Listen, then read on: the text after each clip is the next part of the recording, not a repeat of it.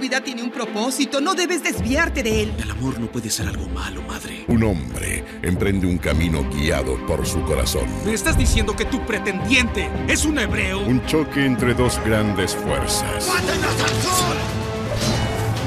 Hasta el más fuerte de los hombres sucumbiría ante tu belleza, Dalila. Sansón y Dalila.